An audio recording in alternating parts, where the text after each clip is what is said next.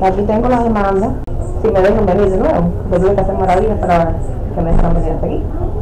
Si es una demanda por, por explotación del, del cuerpo de la unidad humana. ¿Qué- ¿Cómo estamos ahí?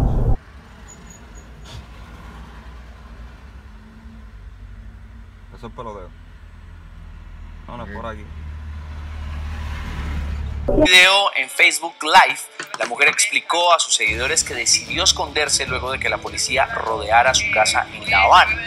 La también activista de derechos humanos había viajado en los últimos días a la isla para presentar una pieza artística en la que hacía fuertes críticas contra el castrismo. Ana Olema, ¿estás dónde? ¿En La Habana?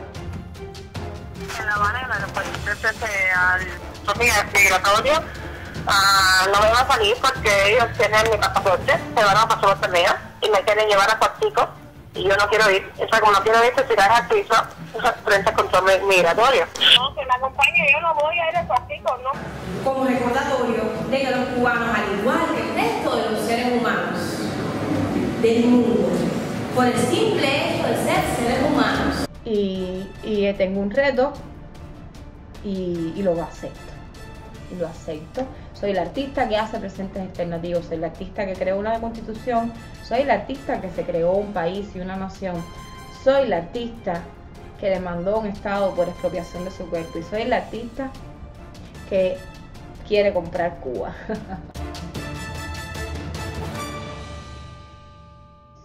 Hola, hoy quiero presentarles una entrevista muy especial que empezó por un segmento para mi show Despierta Cuba y ha terminado por ser lo que merecía Ana Olema, una artista, activista, libertaria, productora de televisión, novia, amiga, que hoy les vengo a presentar desde el punto de vista de su obra eh, de arte, ¿no? de toda su prolífica obra artística, que a pesar de ser tan joven, tiene eh, una vasta obra y además muy significativa, llena de eh, intención, de mensajes eh, en todos los sentidos, desde los, las medidas que utiliza hasta ah, los conceptos, los objetos, las, todo tiene un porqué en la obra de Ana Olema. Y además un punto de partida que es la libertad de Cuba, algo que sin duda le agradecemos todos los cubanos.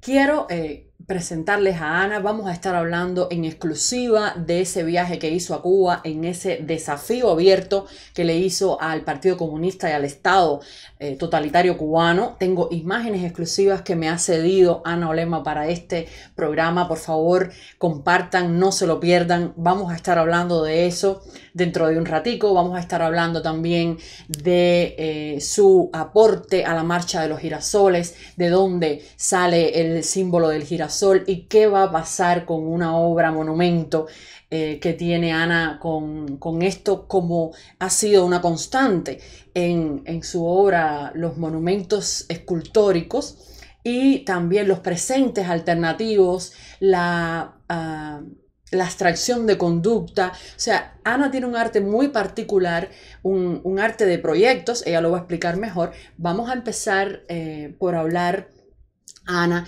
bienvenida, ah, sobre eh, esta eh, Bienal de Asunción, Paraguay, que te ha seleccionado con una obra muy particular para participar en el año 2020 en este importante evento artístico. Cuéntanos un poquito sobre eso. Liu, antes de comenzar a, contestarte las preguntas, de verdad quiero agradecerte esta oportunidad porque no siempre tengo el chance de hablar de manera extendida sobre mi obra, sobre mi arte, sobre mi pensamiento, sobre mi visión de lo que es eh, la ejecución artística.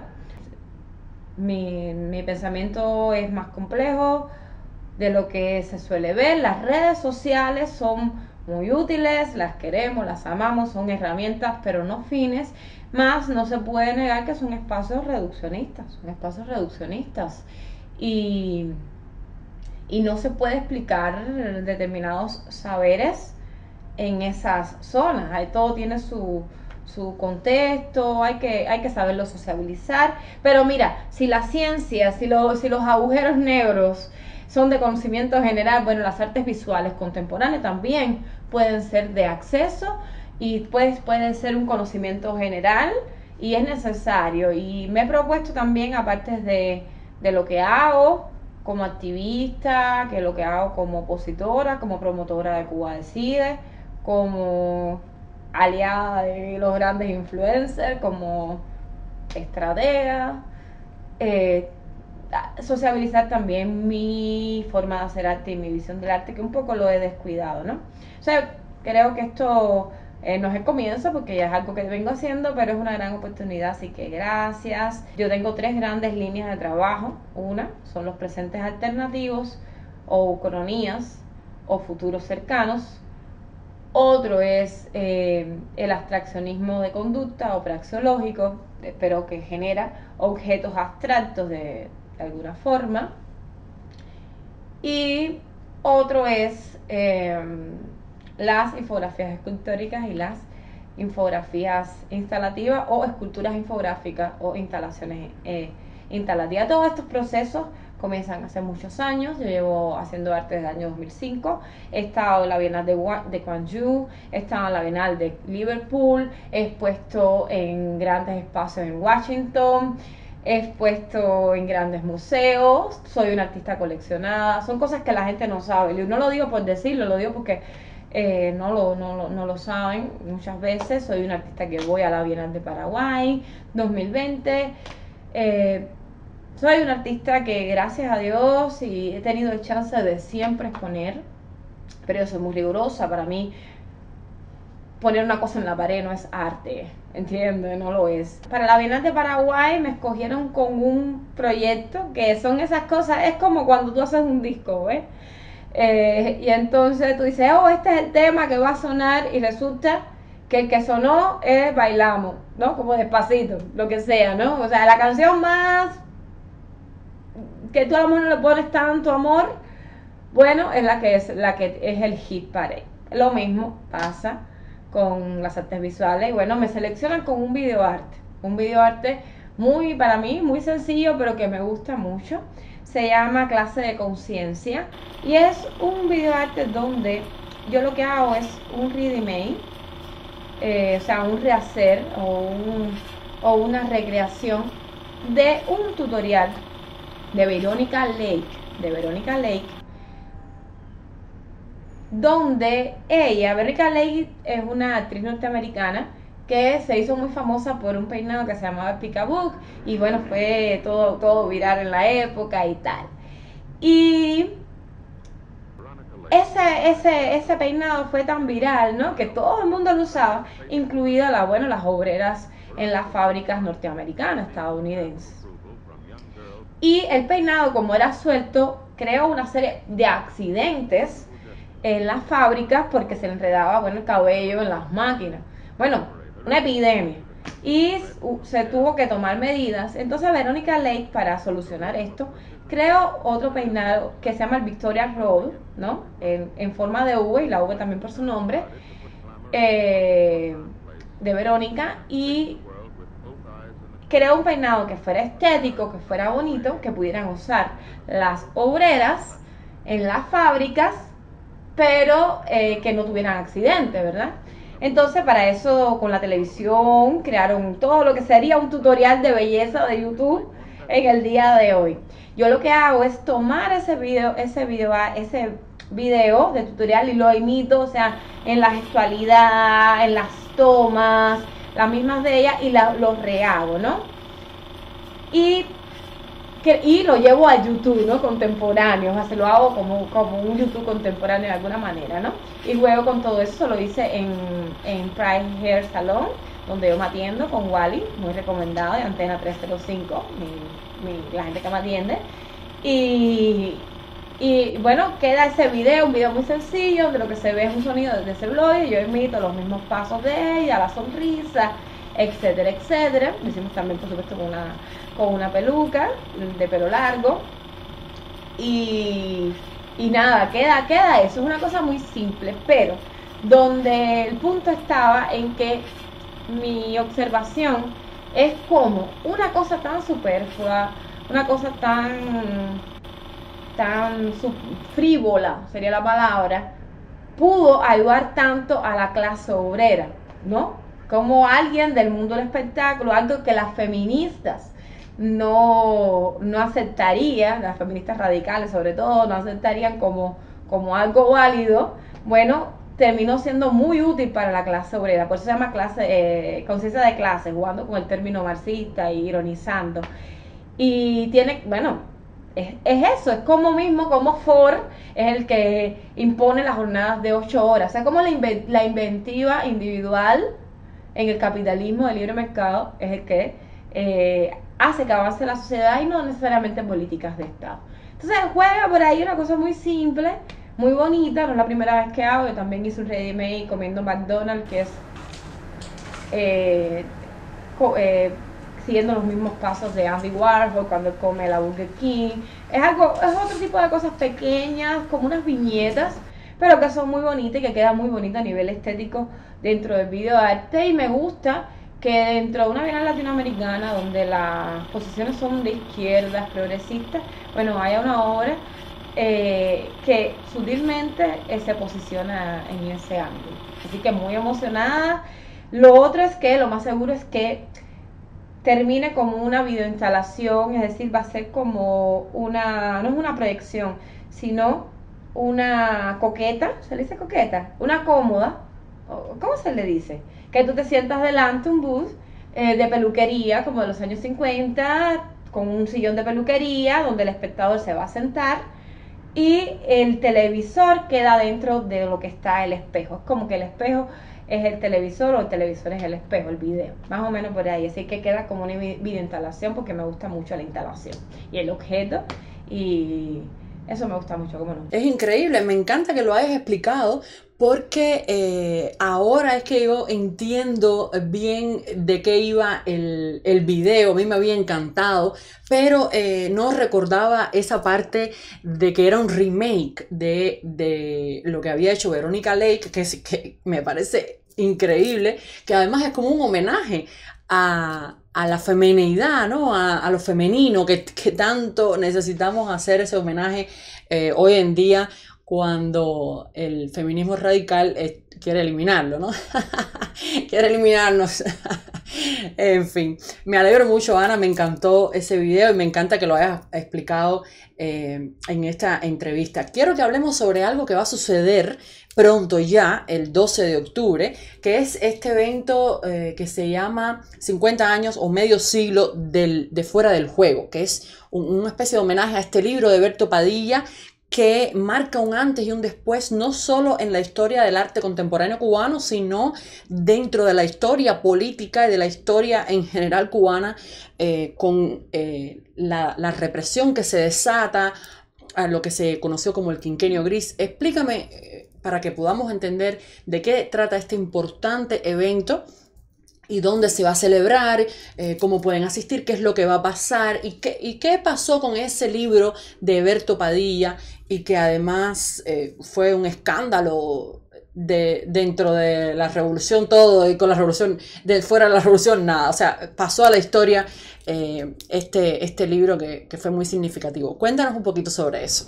Bueno, este 12 de octubre, este sábado 12 de octubre a las 7 de la noche Umbrella Art Foundation tiene un evento realmente importante para, para, lo que ha estado haciendo, para lo que hemos estado haciendo, y es este recital de poesía y conversatorio que hemos titulado Medio siglo fuera del juego, medio siglo fuera del juego, una colaboración con la Fundación Eberto Padilla y con el Museo de la Diáspora, ¿verdad? Estamos muy felices muy, muy felices. Este evento, que es una idea original de Juan Manuel Cao, eh, se hace como un homenaje a Padilla, Alberto Padilla, y un poco recordando a su libro, Fuera del Juego, ya, bueno, medio siglo después, ¿no? Eh, es una idea maravillosa, una idea necesaria, una idea de verdad que, que, importante. Va a ser una noche muy especial. ¿Qué es lo que van a ver? Bueno, no van a ver un simple conversatorio sobre el caso Padilla. Este caso que conmocionó a la intelectualidad no solamente cubana, sino de la región y de incluso de los Estados Unidos, incluso de la izquierda, se puede eh, decir. Y también sabemos que son estos momentos críticos donde el Estado totalitario, en, gestándose y Fidel Castro como dictador, como figura, bueno, se eh, logra cuajar lo que luego sería la política cultural opresiva, oscura, eh, censora, hasta el día de hoy, ¿no? Hasta el día de hoy que todavía vemos y todos nosotros como artistas también hemos resistido en diferentes generaciones a ese estado totalitario y su política cultural. Y bueno, vamos a tener, tenemos el, lujo de contar con Orlando Jiménez Leal, quien está dirigiendo un poco la estructura de, este evento. Está el intelectual y poetazo de verdad, Andrés Reinaldo, que, que tiene una obra maravillosa y una sabiduría infinita. Tenemos a Echeverry, también va a estar Ramón Larrea, va a estar, bueno, la María Padilla, van a haber otras personas, voy a estar yo, va a estar Escuadrón Patriota, va a estar eh, Juan Manuel Cao, va a estar mucha gente más. No va a ser Liu un conversatorio, como te decía, como, como hablando nada más, no, no, no, es un show, un espectáculo que está materializando nuestro productor grandioso que es Didier Santos. Por supuesto, de verdad que los, de los mejores productores que he conocido. Y, va a tener, ah, va a haber actores, entre una actriz ya es Yani eh, Martín Martín, que fue la que interpretó a Cari Roque en Leyendas del Exilio. Y va a haber un momento, un momento actoral, va a haber audiovisual, va a haber recital de poesía, es un show, pero también un conversatorio donde testigos presenciales, víctimas directas y, actores directos de ese, de ese momento, eh, donde se desata a partir de, fuera del juego y todo el caso Padilla y bueno, el mía culpa de Padilla. Eh, los que, los que saben, los que son testigos que son testigos de ese momento y parte de la historia, bueno, son, van a explicar y van a contar a nuevas generaciones, a nuevas oleadas de artistas cubanos aquí en Miami y eh, sobre, sobre eso, ¿no? el impacto que tiene en la, en la actualidad. Así que de verdad es algo que no se, no se deben perder, tienen que ir y se va a leer su poesía. A mí me gusta mucho porque cuando yo vine de Cuba y, y y luego de realizar expropiada, ah, me dedicaron uno de los poemas, el poema que tengo una mala memoria, de las manos, el famoso de Padilla del libro. Y es exactamente expropiada eso, ¿no? Es como la indefensión y el ultraje a máxima escala del artista, del individuo, frente al Estado totalitario que te va, bueno, desmembrando, que te va eh, descuartizando tu existencia.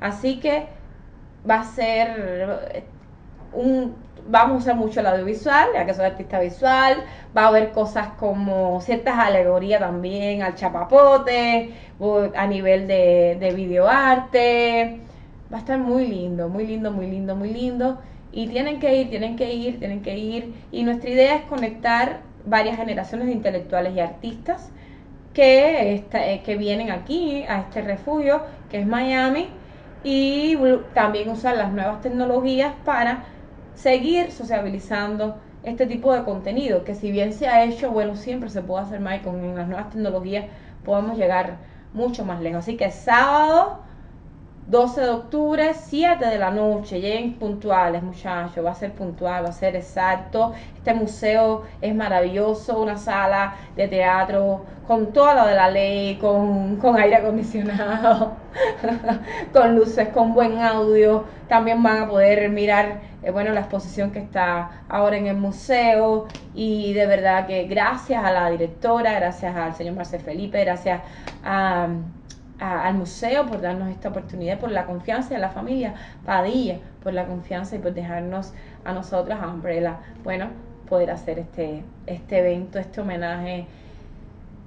De verdad que, que es un lujo. Sábado, 2 de octubre, 7 de la noche, Museo de la Diáspora, Miami. Te esperamos. Me parece fantástico que vayan a hacer este evento. Están todos invitados, no dejen de ir el eh, 12 de octubre al Museo de la Diáspora Cubana, donde se va a reunir lo- la crema de la crema de la intelectualidad cubana eh, de eh, Miami. Así que tienen que pasar por ahí obligatorio, visita obligada este eh, 12 de octubre. Vamos a hablar sobre otra cosa porque...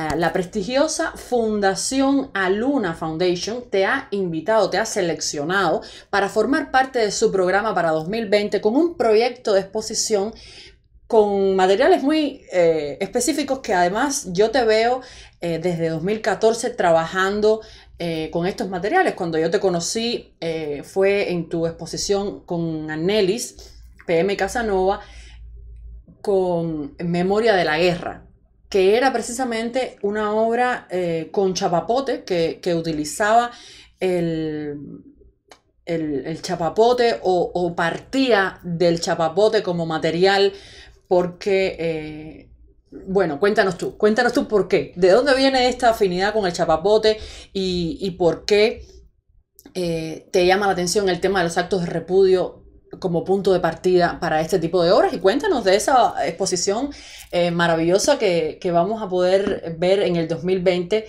eh, con estos materiales. Sí, para el 2020 voy a tener eh, la oportunidad y el privilegio de trabajar con personas muy serias dentro del mundo del arte, el mundo del arte duro, el arte contemporáneo cubano, pero también de los Estados Unidos y de la región. Es, es de verdad, va a ser una experiencia única, una, una gran, gran oportunidad para mí de mostrar no una pieza aislada, no un proyecto aislado, sino toda una investigación, vaya, de lucirme.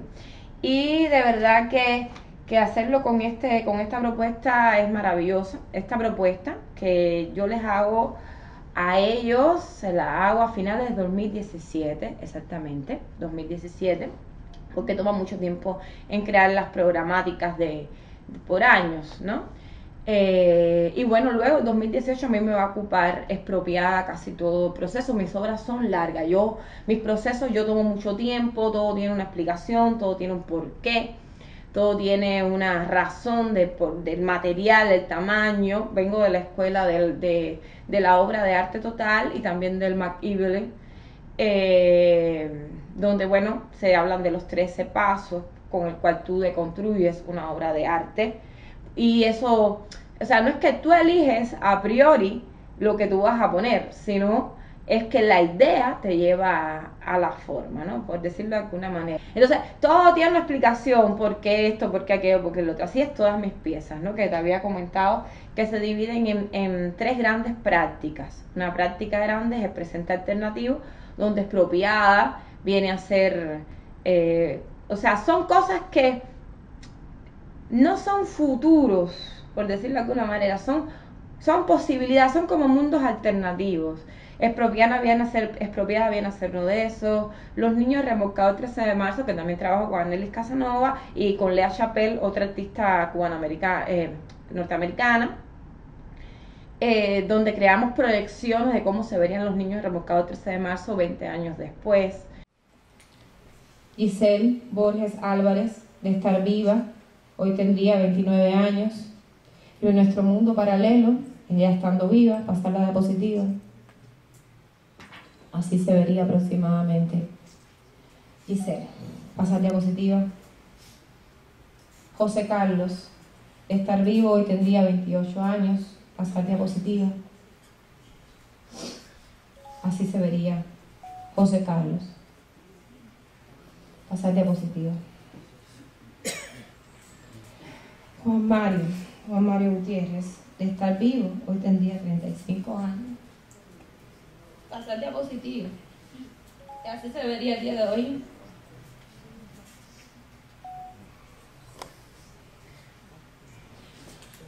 Lo siento mucho, no es. Lo siento mucho. Lo siento mucho. Mucho. Pasar diapositiva.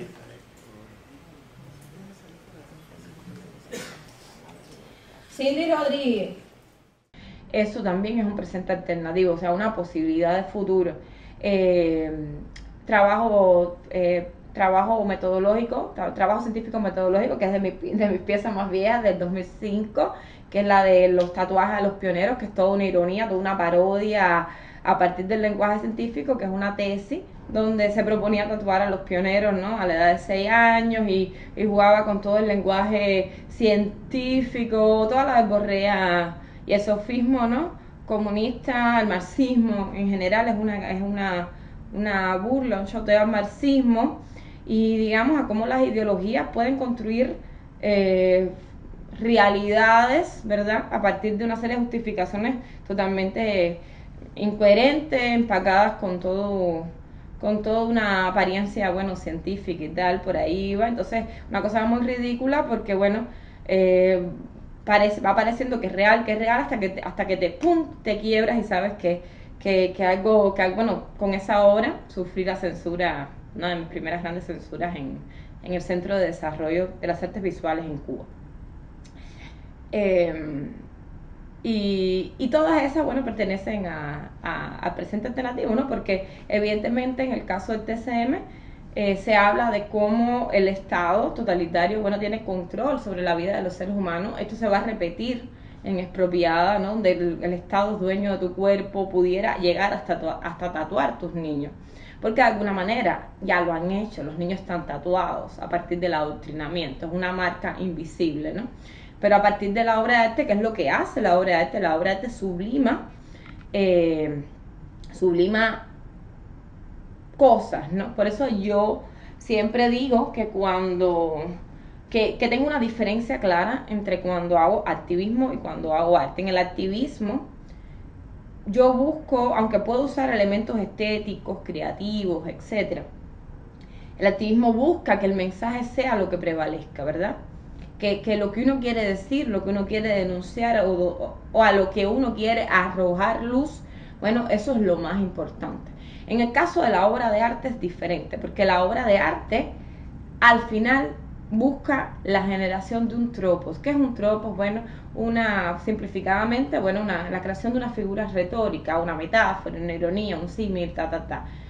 Eh, es decir, esa es esa capacidad del ser humano de que una rosa, una flor no es una flor, una flor es el amor de tu vida, es tu madre, puede ser la paz, o sea, esa capacidad de ser humano única, por lo menos entre lo que conocemos de las especies de los animales, eh, es, fabulosa, ¿no? Es fabulosa. Eso es una gran área de mi trabajo. Hay otra área que se llama abstraccionismo de conducta, como tú la has llamado, Liu, pero que también yo llamo abstraccionismo praxeológico, es decir, que, que son abstracciones, ¿verdad? Eh, que vienen, que son productos, estos son papeles que impreso, que son productos de, de acciones humanas, de acciones, de, de, acciones del ser humano, ¿no? No es un, una abstracción a capricho del artista como ocurre en la abstracción tradicional. A mí me gusta mucho algo que habla Kandinsky, que es que él tiene todo un texto muy importante dentro del mundo del arte y él habla de, de, de, del arte abortivo. Y yo pienso igual, yo digo, ¿por qué hacer un arte que ya se ha hecho? ¿Cuál es la Eso sería como decir, para un científico, resolver un problema científico que ya fue resuelto. Me explico. Por eso hay una gran diferencia, y me van a perdonar, entre la artesanía y el arte. Eh, para mí, arte, aunque tenga toda la hechura del mundo, aunque tenga toda la técnica del mundo, si no trae consigo una propuesta dentro de la problemática del arte, pues es arte abortado, es arte que nació muerto, es arte ya resuelto, para quien más se te aplaude la hechura, se te aplaude la técnica, pero bueno, no, no estás haciendo, no estás siendo un eslabón dentro de todo esto que ha sido el proceso del arte. No estoy hablando del arte contemporáneo que tira cualquier cosa en el piso y es arte. No, Duchamp ya hizo lo que iba a hacer, ya nadie más lo tiene que hacer. Ya, eso fue, ya fue hecho también, eso es una forma de ser abortivo. Pero en general, eso es lo que pienso. Esa es la razón por la que yo tengo muchas habilidades técnicas con las manos, más, o sea, no tantas, pero tengo mucho, mucho más de lo que las personas piensan y casi nunca lo saben porque yo me pregunto todo, ¿por qué hago esto y por qué no hacer lo otro? Porque el arte para mí es algo muy serio, muy serio, muy... Eh, importante y es eh, mi punto de partida para todo, incluso para el activismo político, sin dudas. Entonces, bueno, ¿cuándo empiezo a trabajar el chapapote? Bueno, el chapapote yo lo comienzo a trabajar en 2012, en 2012 empieza con Memoria de la Guerra, Memoria de la Guerra, nosotros le hemos llamado, y digo nosotros porque trabajo con Anelis Casanova, lo hemos llamado un ensayo donde a partir de procesos represivos se crean herramientas eh, de resistencia, Esa, más o menos por ahí. Entonces, eh, lo que hacemos es extraer de los patrones de, eh, estos ataques con chapapote que, ejecuta la, la, policía política sobre los disidentes y opositores cubanos, en este caso una especie, una marca social, ¿verdad?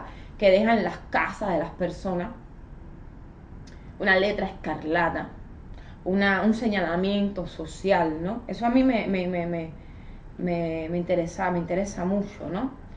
Eh, también me detona a mí, el catalizador es, bueno, Sara Marta Fonseca, que todos recordábamos que, que vivía en Cuba, en su casa, y su casa llena, estaba llena de letreros, de letreros de chapapote. A mí eso me, me conmovió mucho y yo decía, bueno, ¿cómo es vivir en una casa, tu día a día, tu cotidiano, con esos letreros, ¿no? Atrás de ti, esos letreros. Y e, e, ese acto, eso a mí me, me, me, me conmovió, ¿no? Me sobrecogió.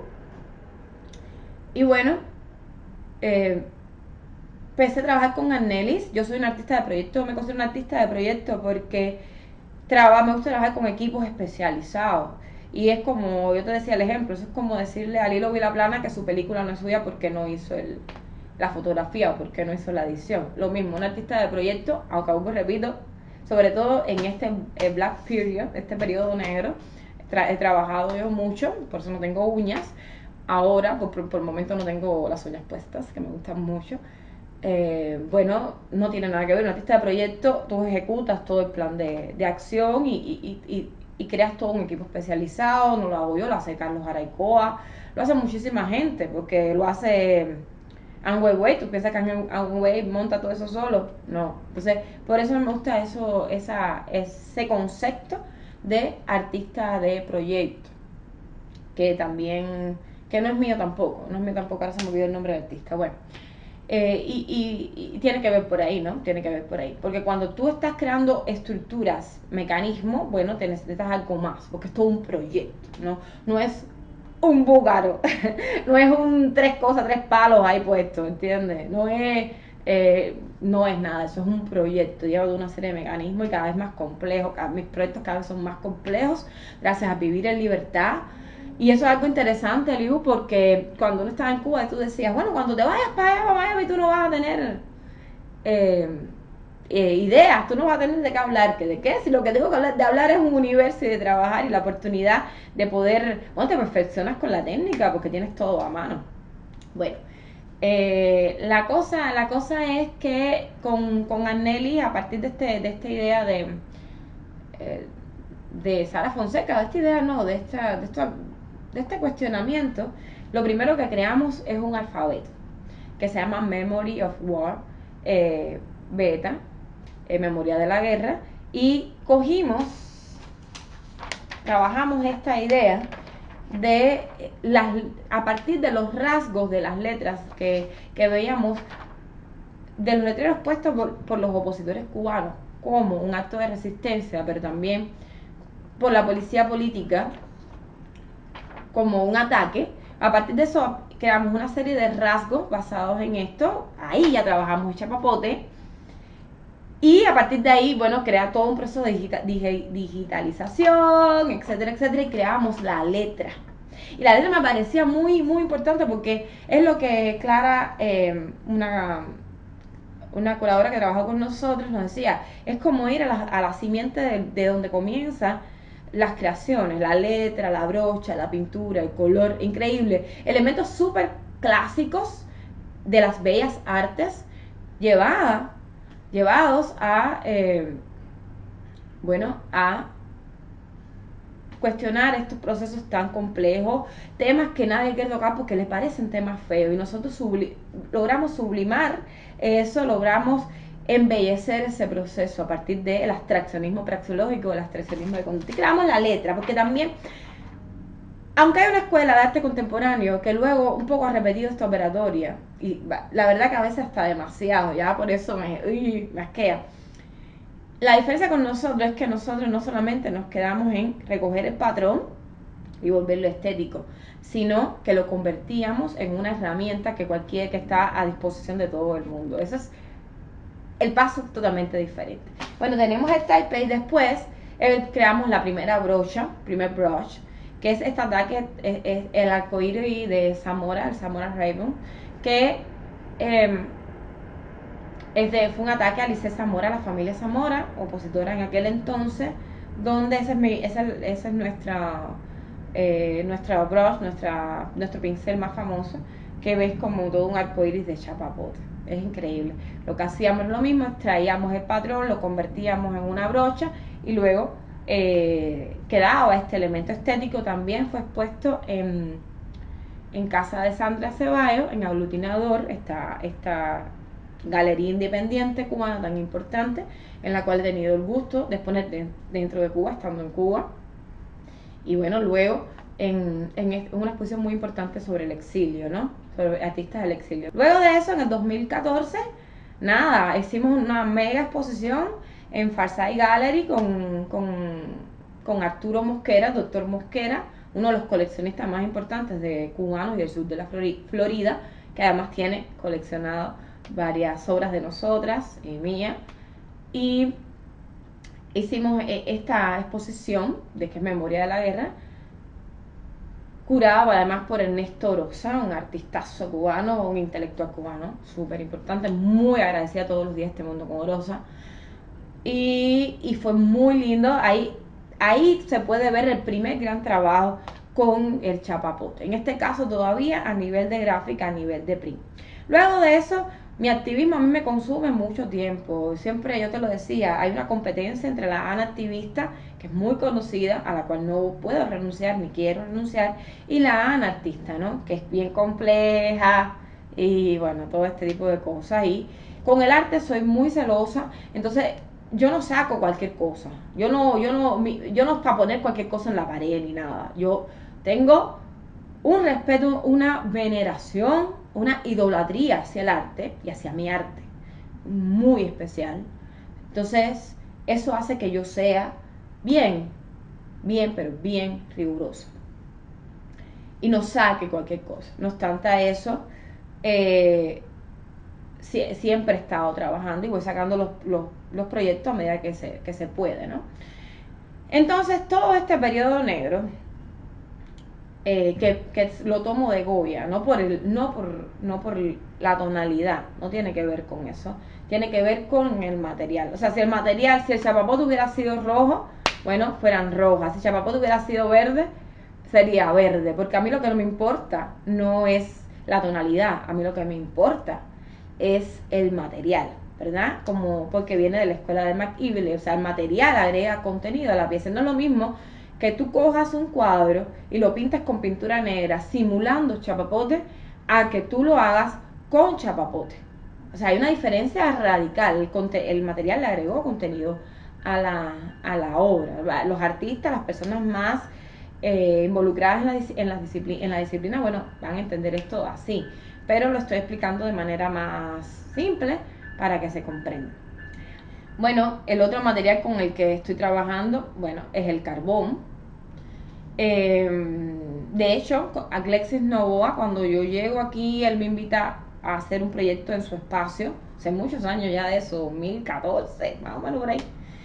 Y, la propuesta que yo le hice, eh, como, como te digo, como mis proyectos son grandes y ya un proceso de producción complejo, y debo agradecer a Didier Santos, mi pareja de mi vida y, y quien ha sido mi productora en estos últimos años, sin él no hubiera podido producir nada, porque son procesos complejos de producción. Eh, toma su tiempo, o sea, tú tienes la idea, pero tienes que buscar el momento específico para el emplazamiento, para el display. Por eso se dificulta a veces, pues, ver esa, esas ideas, ¿no? Y bueno, a él le propuse en aquel momento trabajar con, con el carbón porque es un proyecto que no voy a decir completo porque, o sea, como están la gente aquí, que robando ideas por todos lados y después son, en fin, no. Pero tiene que ver con la base naval de Guantánamo, un proyecto que va a estar ahora en el 2020. Una versión más simplificada de eso. Eh, también con el carbón de Marabú. El Marabú es otro elemento que es repetitivo en mi obra. Si tú ves mi constitución de la República de Cuba Libre, hecha en entre 2009 y 2010, 2009 y 2010, y es importante que la gente vea la cronología de mi trabajo. Yo tengo una carrera, yo comencé a hacer arte en el 2005. O sea, hace ya muchísimo tiempo y creo que esta exposición para el 2020, bueno, esto puede ser una celebración a mi carrera ya bastante, con bastantes años. La verdad que es increíble, pero, pero cierto. Y el marabú es lo que en la Constitución de la República de Cuba Libre viene a ser el árbol nacional. Recuerda que esa, ese, ese, esa obra de arte en forma de libro, en este caso en forma de libelo, donde yo creo una posible constitución eh, y que tiene una serie de, de, hipérboles también y de ironías, que es algo normal, en mí, el, absurdo también es algo que, que, que está todas mis obras, que viene de Virgilio Piñera. Y y el marabú hubiera ser en esa constitución, que es un presente alternativo, bueno, el árbol nacional, por ejemplo. Es ya algo que se está repitiendo a lo largo de mi carrera. El marabú, el chapapote, eh, y el otro elemento es la pólvora. Y eso sí ya es un elemento de aquí en los Estados Unidos y tiene que ver con todas estas obras que trabajan sobre la memoria del exilio histórico. Nosotros hicimos una, una exposición, una intervención más bien, en, el, en la Casa del Presidio Político, muy interesante, y a partir de ahí se han generado, eso fue en 2016, una serie de obras que tienen que ver con el, el la, digamos, la lucha armada dentro de, dentro de, lo, de la historia de resistencia cubana estaba la pregunta esa que respondió hipócritamente Raúl Castro cuando le preguntaron por los presos políticos. ¿Dónde están? Tráigame la lista, ¿no? Exactamente. Y esta es la lista que están viendo aquí. Acá está la lista. Esa es la lista, exactamente. De, de los que se le entregó a, al dictador Raúl Castro. O sea, esto sería, de cada uno de los, de los presos políticos representan los no, esta es la suma. Ah. Lo que hicimos fue sumar las condenas, por eso se llaman los años de conciencia. Claro. O sea, sumamos todas las condenas y arribamos un resultado que parcialmente nos dio eh, 1076 años, es decir, un milenio de siglo, 76 años de prisión política, porque como no podíamos medir, en realidad queríamos eh, medir una, una presión entera y representarla, visualizarla. Eh, eh, esa espacialidad, pero no, no, no, faltan muchos datos con el tema cubano. Y decidimos con el tema de la vivencia, de vivir los años en prisión, representar el espacio, eh, eh, los, con los años representar el, presidio político. Entonces sumamos esas condenas, pero las clasificamos, las estructuramos como una infografía normal, es una investigación llevada a un lenguaje que, provee, que viene del arte de alguna manera, que es la instalación, lo instalativo, lo escultórico en el futuro y, y viene eso, viene eso, o sea, de que cómo te enseño, cómo te explico, cómo te muestro para que tú veas el tamaño de la tragedia, ¿Cómo, qué hago, qué tengo que enseñarte para que tú veas lo criminal, la criminalidad, el castrismo, ¿no? Y nosotros los cubanos eh, estamos como condenados a contar nuestra historia una y otra vez y una y otra vez contar cuál ha sido nuestra tragedia, o sea, es como una maldición. En el caso de material, la que, la que hicimos para la instalación en, el, en, el, en la casa del preso, bueno, trabajamos con el cartón, el cartón con letrero. Y ahí hicimos una, una infografía escultórica donde eh, sumábamos todos los eh, años de prisión política que había en la en la lista que se le entregó a Raúl Castro cuando, cuando, la, cuando la normalización, que el periodista le dice eh, lo, de los presos políticos, dice, enséñenme la lista y tal. Cogimos esa lista, la lista que había actualizada, y sumamos esa cantidad de, de años de prisión política, llegando, bueno, a, a- a casi un milenio, ¿no? Un milenio de prisión política.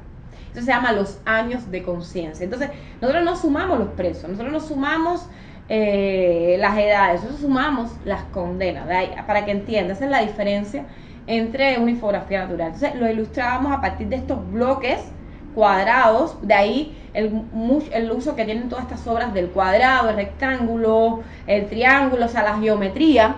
¿Por qué? Porque beben de, eh, de la infografía, de la, de la estética infográfica.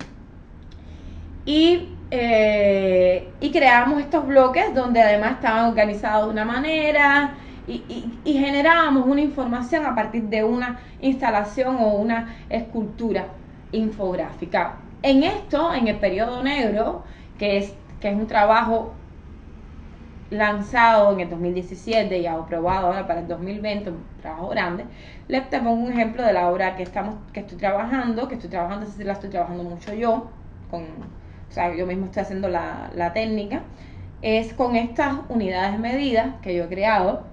Entonces, una se llama eh, la familia, San Ramón, que bueno, es este, que es una representación de, de un histórico, de, un, de una leyenda del exilio, tomando prestado al hilo, su, su nombre de su serie, donde bueno, le mataron a, a, a 100 familiares y son 100 bloques, o 100, 100 bloques, si no me equivoco, tengo que mirar bien, y, y una bala, ¿no? Entonces todas, que, todas hechas a partir de esta, de esta chapota y queda como una, como una escultura. Otras que, otras que también vengo trabajando, y eso también son ideas viejísimas. eh, tiene que ver con, con las personas que, que hicieron huelga de hambre, con el peso de, de, por ejemplo, Pedro Luis Boitel, y esas están trabajadas a partir de una de una pesa, de una pesa, de estas, ¿te acuerdas? Las que pesaban en las bodegas, las papas, bueno, esa, y también con estas unidades de medida, entonces son como 78, a partir de ahí son objetos, son objetos, pero yo no los veo como objetos, sino como eh, esculturas infográficas o instalaciones infográficas. Va por ahí mucho de eso. En el caso también, pues en, esto, en esta exposición Black Period o Periodo Negro, veremos todas estas cosas. Por ejemplo, mira, esto es un, un print pequeño, por supuesto, de un ataque, el ataque a, con chapapote a Arianna. Este es Arianna Brush, o sea, la, el pincel Arianna. Pero ubícate que todo esto lo vamos a ver grandísimo, eh, casi a nivel de pared, o sea, imitando el tamaño de real de pared. Eh, para mí todo eso es súper importante en la exposición reciente de, en el Kendall Art Center que hago eh, The Longest Night, la noche más larga, donde es este pliego donde acumulo 58 comerciales extraídos de diferentes periódicos del sur de la Florida, los más importantes, todos de la fecha del 31 de diciembre de 1958. Y, era, y es como pensar cómo se vivía desde el sur de la Florida, el segundo lugar más impactado por el establecimiento de la dictadura, cómo se vivía en la prensa. Entonces, en vez de ser un periódico, no sé qué, yo extraje todo eso y lo convertí en una sola unidad, ¿no? Y, por ejemplo, el pliego tiene, son eh, 90 por 58, o sea, 58 que el año, 90 millas. O sea, todo tiene un sentido, tú sabes cómo, cómo es. Y bueno, te decía que también vamos también hay otro material porque que se va a trabajar en esta en este en este gran proyecto que es no solamente la pólvora, el carbón y el chapapote, sino la cal. O sea, va a haber piezas en blanco, cosas en blanco maravillosas. ¿Por qué la cal? Porque yo me percato de que, eh, o la lechada, la cal, la, la, la, lechada, la cal, ese material tan malo, tan, tan elemental de pintar, bueno, es con lo que los eh, esbirros tapan todo el tiempo, ¿no? Tapan todo el tiempo esto, eh, cuando un opositor pone un cartel. Entonces, ya ahí hubo un desplazamiento. Y, y también va a haber fotografías fotografías, eso sí pronto se va a ver, no voy a adelantar porque muy muy pronto estamos sacando eso, que tiene que ver mucho con la cal. Y, y, y, y tiene, o sea, va a tener todo un ritmo con estos materiales que ya te digo, la, la tonalidad parte del producto del material. O sea, si los materiales hubieran sido amarillos, si atacaran a los opositores con, con cosas amarillas, pues sería amarillo. Si fueran con, como mismo hicimos con hematoma, hematoma, que también es parte de memoria de la guerra, es la única pieza que tiene otra tonalidad, que no es monocromática, que es monocromática, pero no con negro ni blanco, sino eh,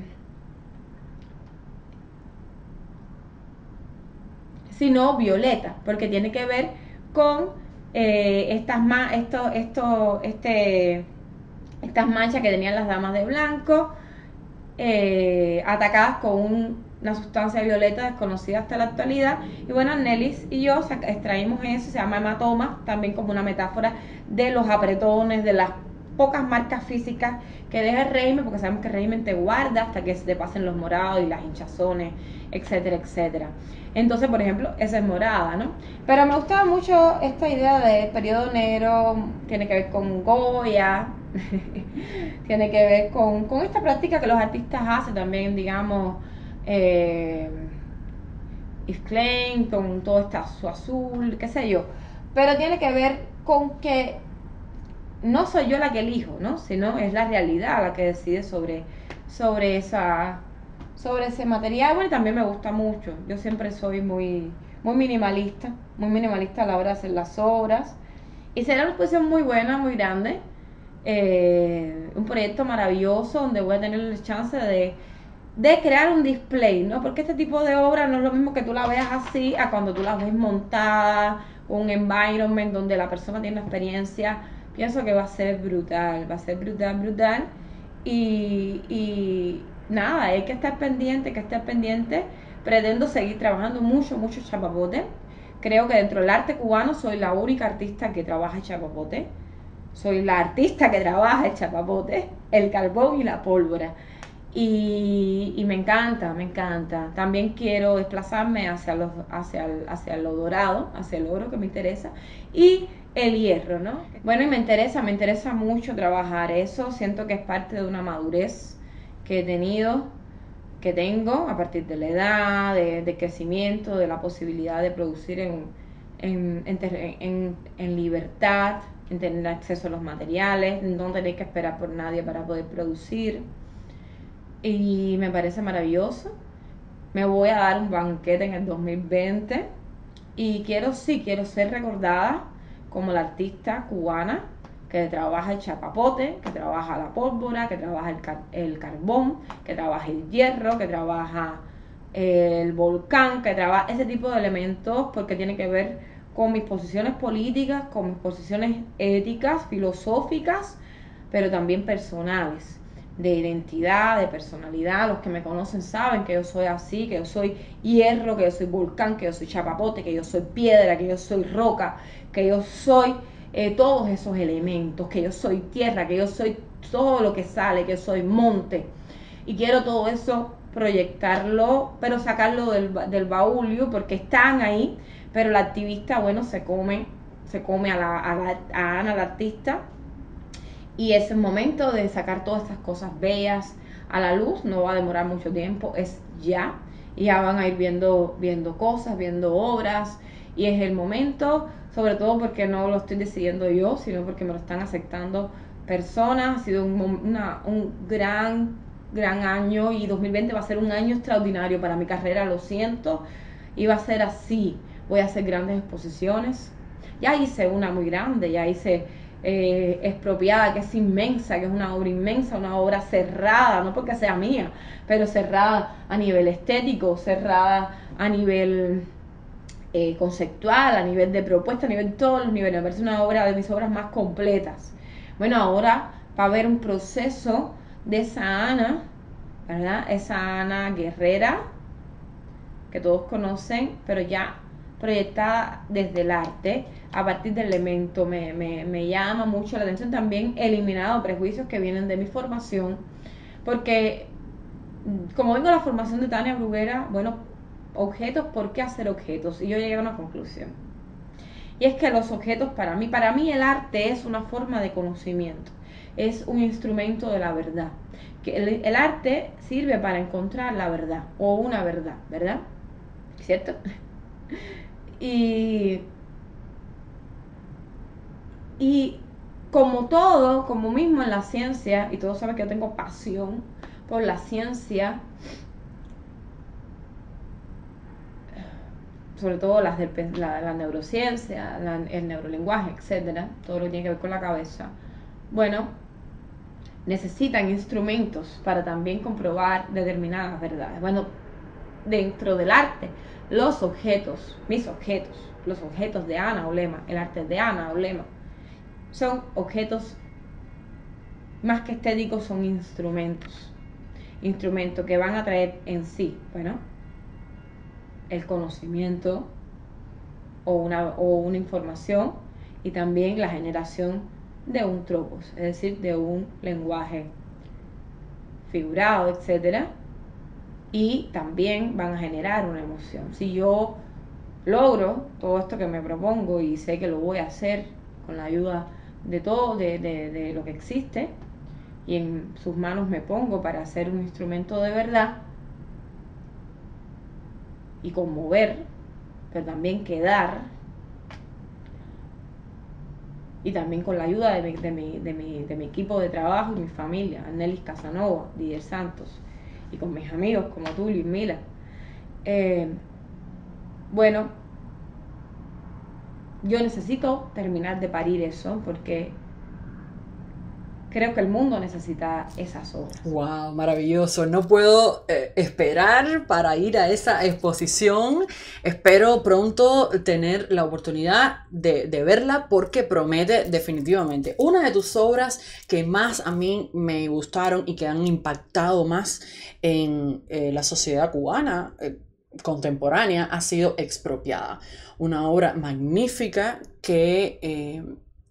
te convirtió en algo así como una heroína de- del arte y la libertad, ¿no? Porque fuiste a Cuba desafiando al Partido Comunista, no solo con tu obra de arte, sino eh, también con una forma de protesta, con una demanda que presentaste en la Fiscalía de la República contra el Estado totalitario cubano. Cuéntanos cómo fue esa experiencia, eh, cómo concebiste esa obra, qué pasó en Cuba, cómo usaste la burla a la policía como una estrategia.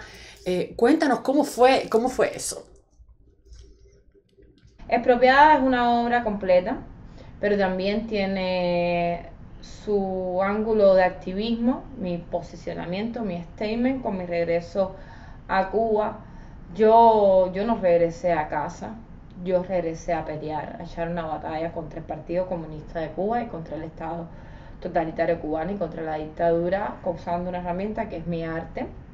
Y creí creando un statement, una, yo quería una, una obra monumental, y es una obra monumental no por, por la escultura del, del collarín, ni siquiera porque tengo un monumento, que es algo que yo hago usualmente, que son monumentos, eh, por lo que, que me caracteriza mucho también dentro de mis obras, que son estos monumentos para hacer en el futuro.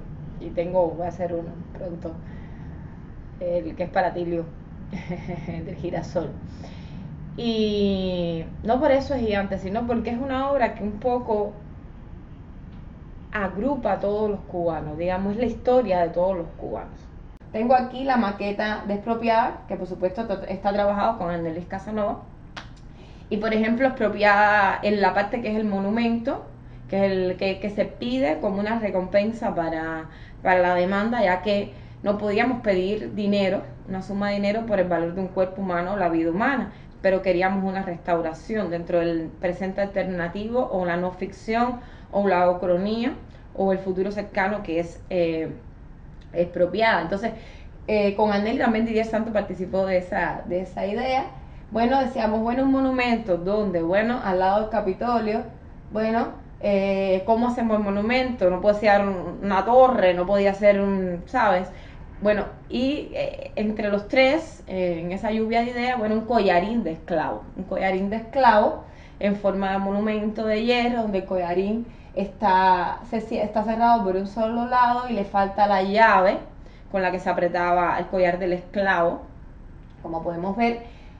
Y eh, ¿Por qué? Porque la llave era el ser humano. Entonces, cuando tú entrabas o tú entras dentro del monumento, bueno, eh, debes tener una tarja que está en el piso donde dice eh, tú, eres la tú eres la llave. En, latín es tú eres de clavén, algo así. Es la historia de todos los cubanos, la expropiación de nuestras vidas por parte de un, de un sistema ilegítimo por el cual nadie ha votado, no se ha decidido, que está impuesto por las fuerzas, etcétera, etcétera. Y ese, ese, es- ese es el nivel de, de dimensión despropiada, ¿no? Bruguera fue la que curó esta pieza, mi maestra. De, imagínate cuánto honor no puedo sentir. Tania y yo tenemos diferencias ideológicas. Eh, yo soy una mujer libertaria, eh, de derechas, ella no. Y, pero, pero, pero somos personas con, con mucho, con amor a la libertad profundo y un amor al arte y es mi maestra y es mostra y es un genio y ella curó ella se enamoró de esa pieza de esa idea cuando yo se la dije se enamoró ella me dijo que, que, que habría sido una idea que le hubiera encantado se le ocurriera a ella imagínate que te diga eso y ella me ayudó a pulirla, a quitarle cosas, a cerrar la, la obra, ¿no? Una obra que se entiende bien, una demanda de propiedad contra el Estado cubano por expropiación de mi cuerpo, simple. Y luego se convirtió en todo, todo una, una épica, mi regreso, mi resistencia, el no querer hablar con la seguridad del Estado. Y hoy para Despierta Cuba, bueno, Liu, te voy a dar algunos fragmentos de esa documentación que yo vengo haciendo. Yo empecé a hacer la documentación apenas llegué. Permiso. No puede entrar nadie, Lía. Yo- Oye, pero si esta es la puerta de su casa, porque no puede entrar nadie. permiso. No, pero. Lía, no. Buenas tardes. Ana, Sí, ¿cómo está usted? bien, ¿cómo tú estás? Eh, sí, usted sí puede continuar. ¿Puedo continuar? ¿Los demás están No, ellos no pueden subir. ¿Por qué no? No, ellos no pueden subir, mi amor. ¿Qué pasó? ¿En qué?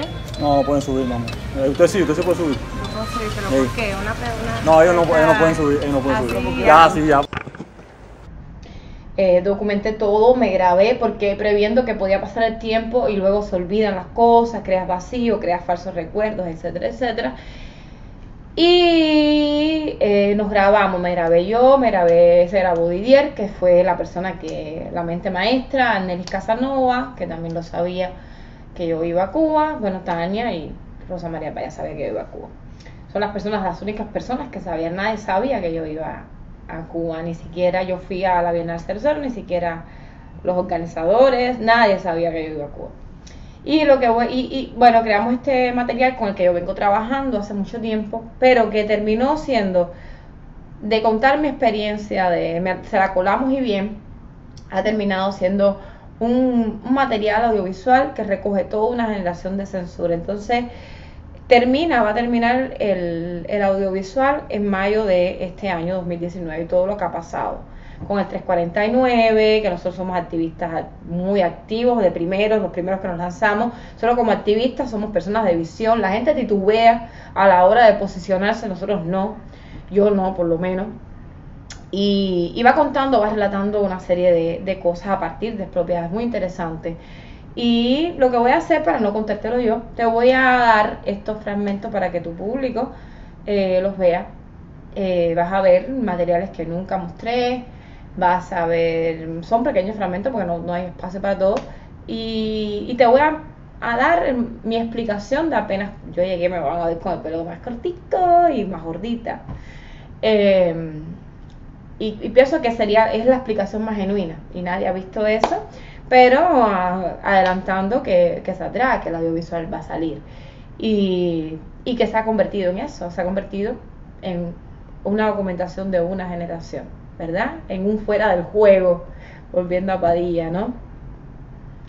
Que no, no termina y que va a terminar por cuando los artistas hablemos de política, cuando los artistas entendamos que hay que hablar de política, que hay que entrometerse, que hay que hacer política, que cuando los intelectuales comprendan que tienen que estar delante de la vanguardia cívica y no como unos cortesanos bufones del poder, y que todos los cambios comienzan con las ideas en la cabeza de las personas. Todas las grandes cosas, las grandes ideas, Ford, eh, eh, Internet, MySpace, el, en fin, todo, todo comienza con una idea en la cabeza. Es decir, que eso es vital, es, es esencial, esa capacidad de nuestro cerebro de proyectar la imaginación. Es un arma poderosa contra los totalitarismos que te cortan de raíz la imaginación. Entonces, bueno, aquí te dejo con estos fragmentos expropiados que te explican y te responden eh, todas las preguntas que me has hecho. Bueno, nada, en principio cuando, cuando Anolema me dijo que iba para Cuba, eh, en fin, primero fue una incertidumbre, ¿no? Si la, pensar que, que podía pasar, si la dejaban pasar, eh, en fin. Lo segundo era, teníamos que tener, tratar de tener el pasaporte, que no teníamos el pasaporte en ese momento. Entonces muchas cosas se condicionaron, o sea, la decisión final se condicionó a si le daban el pasaporte en tiempo. ¿no?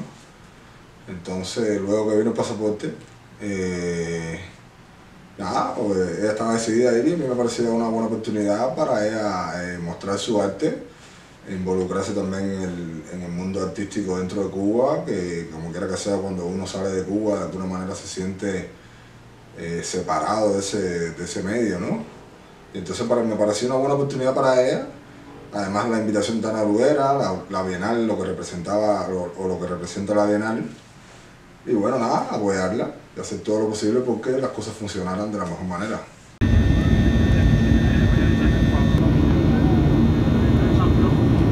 Yo fui a Cuba eh, invitada por Instar, el Instituto de Arte y Activismo Hannah Arendt, eh, que, que, dirige Tania Bruguera. Tania Bruguera me hace una invitación a ser parte de la Bienal 00, que es esta bienal independiente que ha sido organizada por varios artistas dentro de la isla, entre ellos Manuel Otero, ¿no?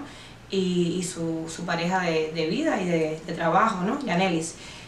Y otros artistas de la escena local, una bienal totalmente, digamos, alternativa, paralela, al margen del Estado totalitario cubano. Tania, que instar y este, su casa iba a ser parte de la Bienal 00, me hace una invitación. Me dice, Ana, ¿quieres ser, estar en la Bienal? Y yo le digo, bueno, sí, está bien. Yo siempre pensando de participar desde aquí, como he hecho otras veces en, siempre en, en, lugares independientes dentro de la isla. Yo mando mis cosas y se exponen. Pero ella me hace una invitación un poco más allá. Me dice, bueno, ¿vendrías a la Bienal eh, en persona? Y bueno, eso me dejó meditando. Llegado un tiempo, porque esta Bienal se organizó, digamos, casi por un año. Eh, llegado un tiempo, yo decidí eh, dar un paso más allá y decidí que iba a planificar mi viaje a Cuba. Yo no había ido a Cuba eh, durante no, ya hace más de cinco años posiblemente. Nunca había regresado, no pensaba regresar, aunque siempre defendí la idea de que los artistas y los ciudadanos regresen a Cuba con ideas que regresen a Cuba a, digamos, a ejercer una acción cívica, aunque sea mínima, dentro de la isla, o sea, hacer algo más que visitar la familia, que está bien y que puede ser discutible o no, pero es su derecho ciudadano eh, ir a la isla con, con, algo en las manos más allá de, de, cosas materiales. Es una idea que siempre tuve, pero sin embargo no había, no había pensado en regresar, la verdad. Sin embargo, esta, esta nueva inyección a la escena independiente cultural cubana me motivó mucho y sobre todo porque varios amigos míos estaban sufriendo dentro de la isla una represión, digamos, intensa, ¿no? Eh, digamos que mayor de lo habitual. Yo no puedo pasar. ¿Pero por qué? Ya no solamente van a prohibir las funciones, sino además van a prohibir que yo no tenga el derecho, el derecho de ir a donde yo pueda entrar. Adoni, llama a la policía. Llama a la 106, llama a la policía. Llama a 106. Estos son delincuentes.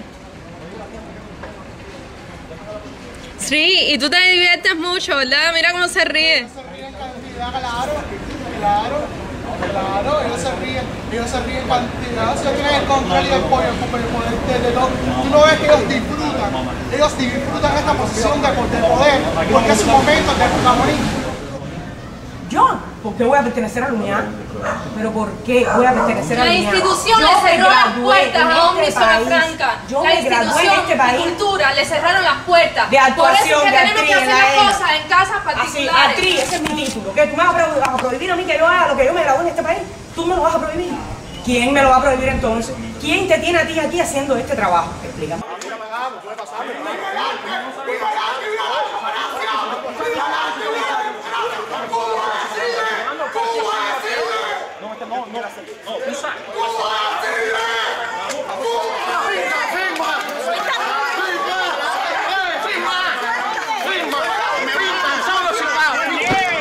El 5 de mayo era mm, la inauguración de la 00 Bienal. Eh, vamos, llegamos a casa de Tania Bruguera, el espacio Instar, el Instituto de Activismo de Ana Arendt, y de pronto aparece por la puerta Ano Lema. O sea, era algo inesperado. Tania estaba súper contenta. Como Ano Lema estaba ahí, eh, na- nadie sabía, pero ahí estaba Ano Lema. Bueno, durante tres meses estuvimos preparándonos, haciendo, pensando una serie de estrategias. Teníamos dos grandes posibilidades, un 50%, y el que quizás yo más creía era que no iba a pasar. Pero trabajamos todo el tiempo, yo y todo, todo, todo, el, equipo, todo el equipo de trabajo, trabajamos todo el tiempo buscando la manera de que yo pudiera entrar. O sea, la idea todo el tiempo era vencer. Y por eso, digamos, operamos de una manera un poco diferente a lo que usualmente hacemos, porque los cubanos siempre estamos acostumbrados a reaccionar en vez de accionar por cuestiones lógicas, ¿no? Entonces, diseñamos varios planes de entrada, eh, qué hacer, qué no hacer, cómo hacerlo. Y eso comenzó desde lo, más, desde lo mínimo, pensamos todos los escenarios posibles, incluso los más eh, absurdos. Yo siempre digo que el castrismo no cree en enemigos pequeños. Ahora pon la, pon la mano así. Aquí, mano abajo. Ajá, ponla así. Ahí, no, no, aquí. O sea, 90 grados más. Como productor tienes que garantizar que la, la obra de arte, en este caso, eh, se, se lleve a cabo, ¿no? Con todas las garantías y con todas las necesidades que el artista te, te exija, ¿no? Eh, técnicamente hablando, en cuanto a preparación y logística, por supuesto que es mucho más diferente porque no es lo mismo organizar eh, un evento donde tú, no sé, rentas un audio, un espacio, haces un plan de transporte, or- organización, comidas, eh, etcétera. Y cuando es un tipo de cosas esto, o sea, que es un evento también, pero no es un evento, sino es que es una participación dentro de un evento donde es muy posible que eh, la seguridad del Estado sabotee esta- este evento y la participación de, de- de- en este caso, el artista que tú estás produciendo, ¿no? Y además de eso, ser tu novia, o sea, tiene doble riesgo, ¿no? Entonces tienes que esforzarse un poco, un poco más, porque yo siempre he trabajado sobre esa dinámica o sobre esa presión, pero, pero sí son cosas, elementos que son completamente diferentes, o sea, las, las garantías deben ser otras.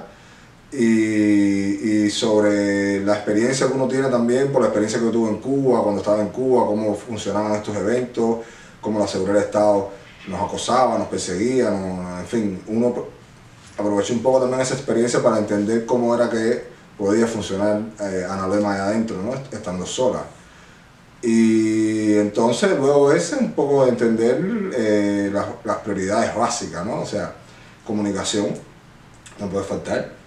Eh, de alguna manera dinero, o sea, por supuesto no una gran cantidad de dinero, pero se necesita dinero para poder parar un taxi en una esquina y bajarte en la otra, alimentarte si tienes que estar un par de días fuera, incluso estando en tu casa, entonces hay que preparar una, una logística diferente porque de alguna manera es como infiltrarte en una base militar, o sea, es algo completamente novedoso para mí, pero eh, yo creo que es muy interesante desde el punto de vista de la experiencia y del trabajo haberlo logrado, ¿no?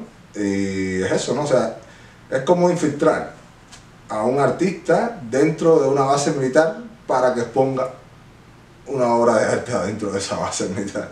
Decimocuarto. Aún fuera del país, el Estado insiste en manejar nuestros pueblos. Si el, si el artículo 32 dice que cuando se adquiera una ciudadanía extranjera se perderá la cubana, ¿por qué no se admite la doble ciudadanía? Entonces, ¿por qué me obligas a mantenerla para entrar al país? Yo pensé muchas veces que no podía entrar. E incluso recibí mensajes indirectos por terceras personas de la teniente coronel Kenia Morales, eh, que por mensajes, por terceras personas me envió el mensaje de que yo no fuera a Cuba, que no intentara ir a Cuba. Y eso fue otro de los grandes detonantes para yo ir. Cuando ella me envía ese mensaje, de la forma que ellos envían esos mensajes como advertencias, ¿no? sin, sin manchar su nombre, yo dije, no, a mí nadie entonces me va a prohibir entrar a Cuba, yo voy a ir de, de todas, todas. Me expropiaron la vida, me expropiaron el cuerpo y me expropiaron, me expro- me expropiaron el alma, pero mi fuga me hizo libre. Los totalitarismos te hacen creer que es una traición irse, destetarse, cuando es un acto libertario el primero, regresar el segundo y triunfar es el definitivo. Los pasivos te hacen creer que callar es una actitud inteligente. Los cobardes quieren demostrar que atreverse es estar loco. Los, los convencidos no intentan convencer a nadie.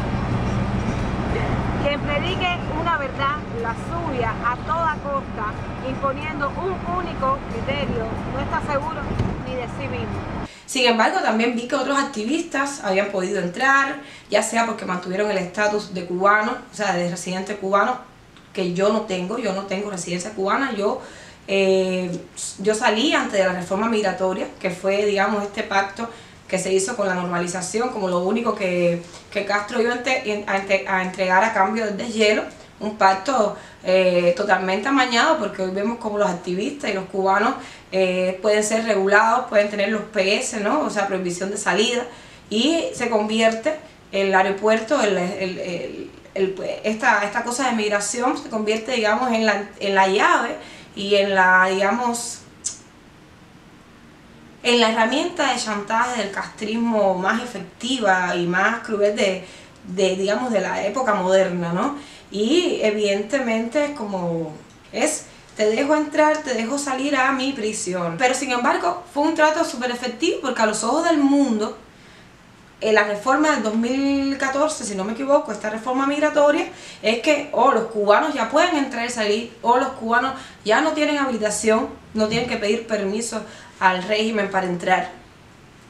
Es totalmente una farsa, porque siguen ellos de manera, eh, de manera tramposa, eh, regulando quién sale, quién entra del país.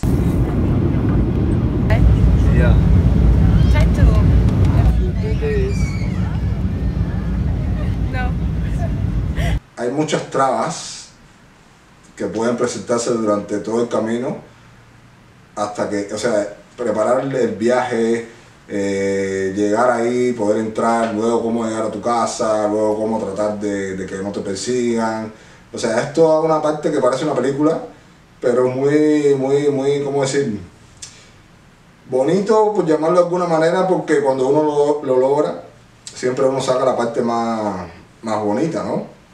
Pero un poco también riesgoso y preocupante porque con la persona que está trabajando es tu novia y sabes que la estás, eh, le estás facilitando entrar a la boca del lobo. Y luego que está en la boca del lobo, cualquier cosa puede suceder. Entonces luego viene la parte de que si le pasa algo adentro, ¿cómo va a responder uno siendo además el productor el novio? ¿no? Entonces tiene que tener muchos planes A. De hecho, muchas veces nos reíamos porque teníamos cuatro planes para que la obra se, se- exhibiera en la Bienal. Con ella, sin ella, con ella y no con ella. O sea, era, teníamos cuatro planes. Yo creo que nunca había tenido una, una- un plan A, B, C y D. Y en este caso lo, lo- lo- lo logramos llevar a cabo en el plan C. B y C. Estoy casi segura de que logro pasar porque no anuncié eh, que iba a la Villa 00 e incluso las llamadas que hice a Cuba, nadie lo sabía, ni mis padres, ni mis colegas, nadie. Esas, esas cuatro personas que mencioné anteriormente, Didier Santos, Anelis Casanova y Tania Luis, eran las únicas personas que sabían que yo eh, iba a la Bienal 00.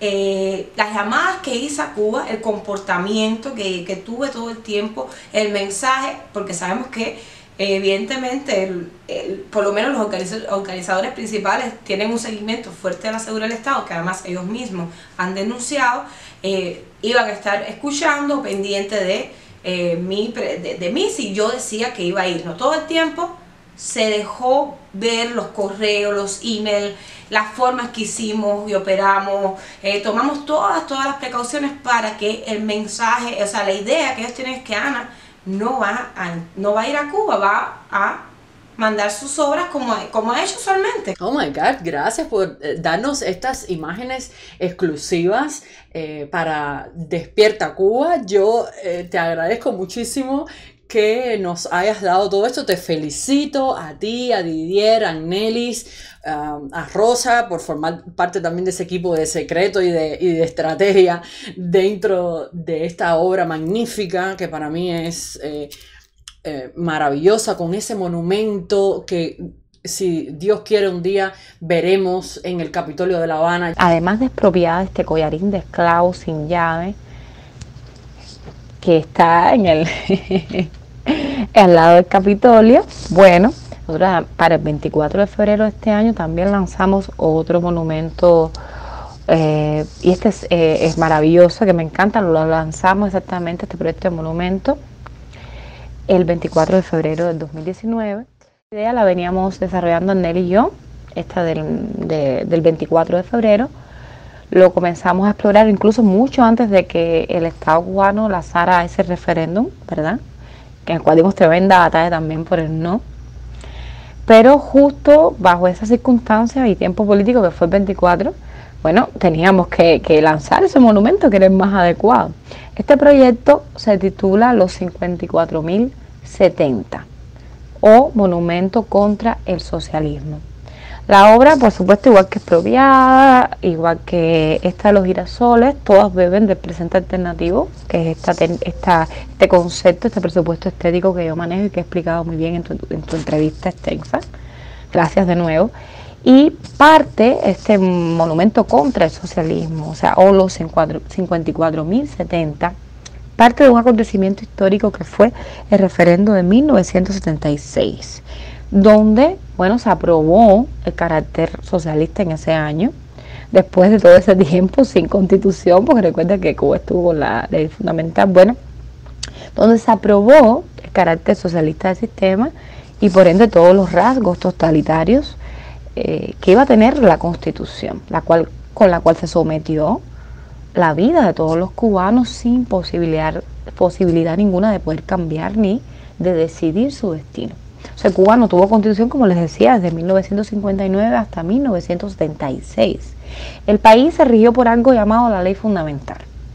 Ya ha pasado 16 años de dictadura, el pueblo ya estaba súper camastrado, imagínense. Eh, el referendo, el poder reportó, bueno, haber tenido una aprobación de eh, una, una constitución masiva de manera rotunda, tú sabes, contundente en aquel momento.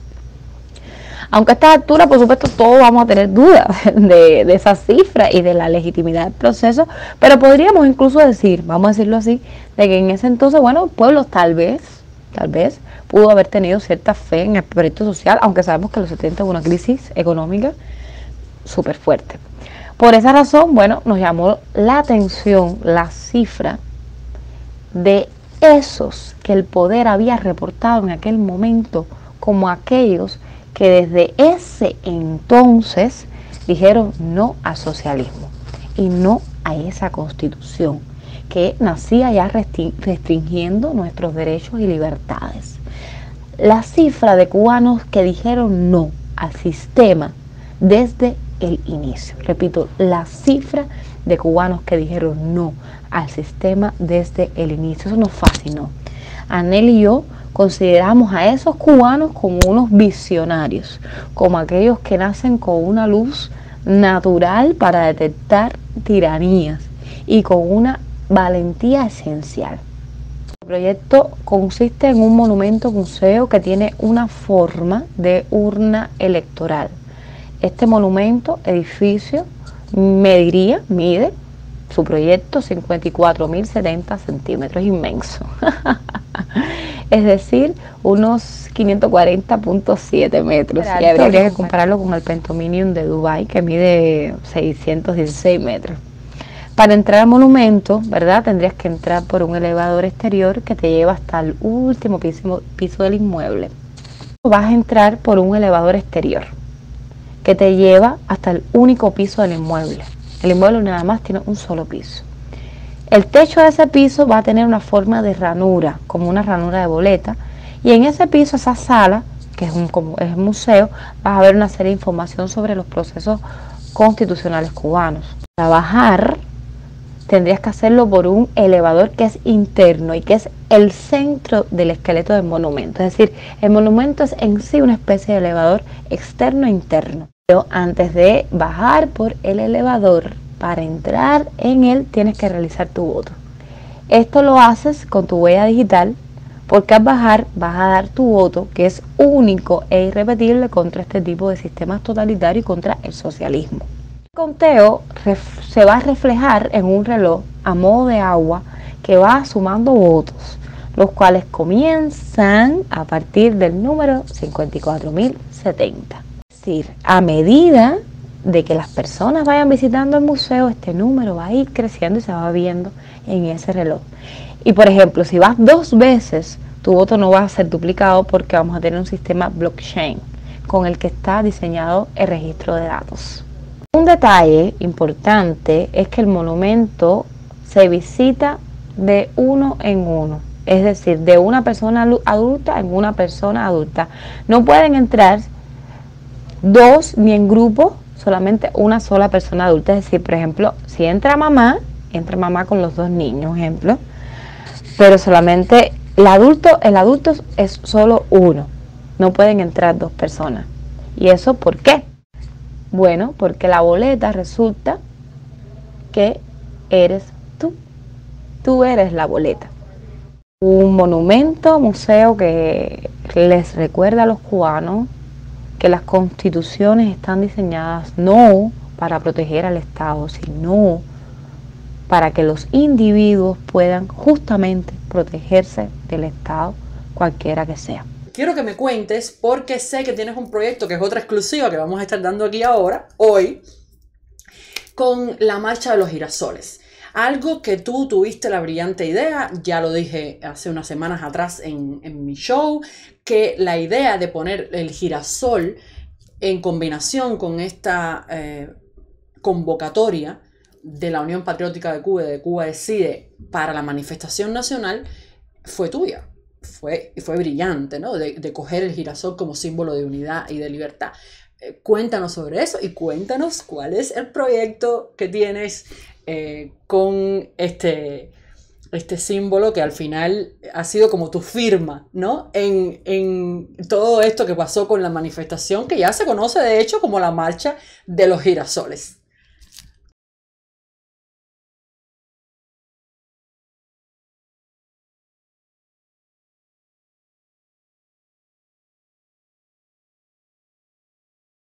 marcha de los girasoles que ocurrió el 8 de septiembre de 2019, que fue convocada por la Unión Patriótica de Cuba con una extensa demanda en medio del descontento social tan grande que hay ahora mismo en, la isla de, Cuba, también como respuesta a los ataques con, con armas a casa de de opositores pacíficos, es decir, cubanos pacíficos como otros, y mostrando una vez más bueno, su valentía, un pago, y los promotores de Cuba Decide, que son miembros de diversas organizaciones y a la cual yo también pertenezco como, como promotora de la iniciativa, ¿no? porque Cuba Decide no es una organización, sino un movimiento, un, un impulso, una herramienta para el cambio de sistema en Cuba. Y la verdad hay que decir que esto, esto ocurrió gracias al trabajo unido, gracias a la comunicación, eh, con igualdad, con respeto, con ética, que se sostiene con activistas dentro de Cuba, especialmente, tengo que decirlo así, con activistas de, del que son personas súper trabajadoras, honradas, éticas, firmes en sus, convic- en sus convicciones, personas de bien y que escuchan, que escuchan a, los demás, que escuchan a los exiliados, que escuchan a sus activistas y comprenden que eh, cada uno en su terreno tiene, tiene algo que ofrecer y lo hacen con mucho, con mucho amor y con mucho respeto y, y se valoran las ideas, no porque si tú estás aquí o estás allá, sino por, por la efectividad de la idea. Eso la verdad que es maravilloso el trabajo con, con, la- con los activistas de la Unión Patriótica de Cuba. Y bueno, eh, la UNPACU, tú eres testigo, tú eres testigo, Liu, de, de eso. La UNPACU lanza, lanza la- el llamado al 8 de septiembre a la calle, a tomar las calles y, a- y, sobre todo a la, a la oposición, a la disidencia, a los miembros del cuerpo cívico activo y vanguardia de la sociedad. Y eh, enseguida Cata Mojena me, escribe y me dice, Ana, vamos a hacer esto, hace falta que, que el exilio eh, también esté. Y yo, bueno, eso de un día para otro, ¿cómo hacemos para que, para que sea un éxito, para que cómo hacemos el llamado y, y, cómo lo hacemos, dónde lo hacemos. Y bueno, ahí enseguida también te llamé, nos pusimos de acuerdo, hicimos un chat, empezamos a trabajar en la idea y dijimos, bueno, ¿dónde? ¿Dónde? ¿Cómo? Que sea rápido y, y dijimos, bueno, en la ermita de la Caridad del Cobre, tiene que ser, eh, porque no, porque la ermita no es un símbolo religioso solamente, es un símbolo de, de nacionalidad, de, de- de identidad nacional, es la palabra correcta. Y, bueno, lo decidimos ahí y yo me quedé así, pero falta algo, falta algo. Y yo te dije, espérate, Liu, un símbolo, girasoles, todo el mundo con girasoles en las manos. Y fue súper emocionante. Y, y bueno, a veces la idea también dice, bueno, pero girasoles, no aparecen girasoles. No, no importa, tienen que ser girasoles, ¿no? Y bueno, después habló con, con los líderes de acá de un Paco, como Luis Enrique Ferrer, con, con Ramón Saúl, con toda, con todos los grupos aquí activos, con los influencers, Otaola, eh, que estuvo ahí súper, que vaya, como sabemos, siempre al frente y, poniendo su talento al servicio de la libertad y su poder de convocatoria, los Pichi Boys, eh, bueno, tú, yo, todos nosotros, los activistas, y cuando la gente decía, no, nadie va a ir, es incómodo, la gente no va a poder expresarse, no va a poder, no es el lugar adecuado, pues totalmente falso.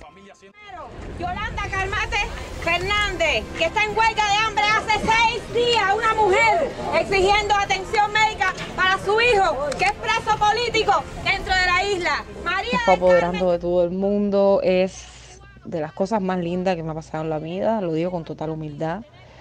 Eh, como artista, eh, creo que lo he dicho ya a lo largo de, de esta entrega, bueno, eh, lo que tengo para ofrecer es la imaginación y eso me hace dar a veces soluciones creativas a determinadas cosas, determinadas problemáticas, eso me ayuda mucho en el activismo y, y es mi, y como artista de conducta, como un artista de inserción social, como un artista que no solamente cree en que el arte imita a la realidad, sino que el arte puede crear realidades, no puedo estar más complacida. Se ha recuperado un símbolo, se le ha regalado un símbolo que unifica a todos, todos, todos, todos los cubanos en una unidad de propósito que es el cambio de sistema en Cuba. Luego, Nelly, que es mi, mi, mi, mi hermana, mi compañera de trabajo, mi, mi, como yo digo, mi arma secreta, una mujer audaz, inteligente, brillante, todo, todo, todo especial, pura, fuerte, fuerte, aunque sea a veces silenciosa y tal, es una de las personas más fuertes que conozco. Enseguida, con su talento infinito, pues hizo un cartel. Como sabes, nosotros le hicimos una exposición grande de carteles a través de Umbrella Foundation, esa fundación donde, que, que, que, inicié junto a Di- Didier Santos y que eh, está emprendiendo grandes caminos para la cultura cubana y también la cultura de Miami y la cultura libre en general.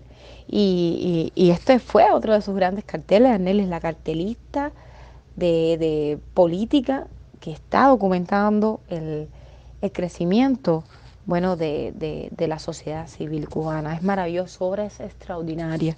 Y nosotros estamos echando la pelea porque, bueno, estos grupos eh, artísticos, intelectuales, pues no nos ven suficiente, a veces nos miran, nos miran con, con desdén, porque creen por nuestro activismo político, ¿no? Es como una manera de que de ellos resolver su conflicto, porque su conflicto es que ellos saben que no están haciendo lo que deben hacer, ¿verdad? Y como intelectuales y como artistas. Entonces uno es el reflejo de eso y no le gusta mirarse, no, no gusta mirarse en nuestro espejo porque es muy fuerte la imagen, ¿no? Pero el arte de Arnelli como diseñadora a nivel estético, a nivel funcional, en todos los niveles, es simplemente un tesoro para la cultura cubana y hace este cartel con su girasol. Y bueno, eh, tengo que decir que, que vimos el impulso, vimos esas redes sociales llenas de, girasoles, de emojis con girasoles, vimos cómo todo el mundo se apropió. El girasol eh, surge de, de esta cabeza, de este cuerpo para al servicio de la libertad de los cubanos y del mundo, ¿verdad? La libertad como concepto, más que nada. Yo por eso me dicen la Amazona de Cuba, pero más que la Amazona de Cuba, la Amazona de la libertad. Y, eh, y vimos eso y tú misma fuiste, Luis, la verdad. Viste, Ana, tienes uno de tus monumentos, es lo que lleva, porque esto ha sido muy grande, etcétera, en nuestra euforia, nuestra felicidad, como, como victoriosas que, que salimos y salió el pueblo de Cuba y salió Cuba victoriosa de ese 8 de septiembre. Es una, fue una gran batalla que ganamos, aunque las personas quieran insistir en lo contrario, la guerra se gana por batallas. No existe tal cosa como la- el, el librar una guerra. Sí, existen librados de batalla hasta que se da la estocada final. Bueno, esta fue una de las batallas en las cuales sin duda avanzamos muchísimo y estuvo el girasol ahí como símbolo eh, y todavía lo es y seguirá siendo que unifica a los cubanos, como ya he dicho. Entonces me dijiste uno de tus monumentos y dije, ok, claro, tiene que ser uno de estos monumentos que, que como sabes, eh, me caracteriza, es otra de las grandes características, que es una mezcla de presente alternativo con infografía. Y bueno, ahí enseguida con él nos pusimos a dar, eh, a trabajar enseguida, en- en- a principios de septiembre, en, en esbozar. A, a raíz de el- la marcha de los girasoles del 8 de septiembre de 2019, en donde eh, ocurrieron hechos espontáneos, eh, activistas dentro de Cuba convocan a la desobediencia civil una marcha pacífica con girasoles en la mano. Y bueno, mi compañera de trabajo, mi hermana Ana Olema, eh, se le ocurre la idea de, lo- de que sea el símbolo, el girasol, por supuesto que tiene significado eh, religiosos también, porque cae el mismo día de eh, la caridad del cobre, que es una fecha muy importante para nuestra nación. Eh, estamos trabajando en un monumento dedicado a la libertad de Cuba.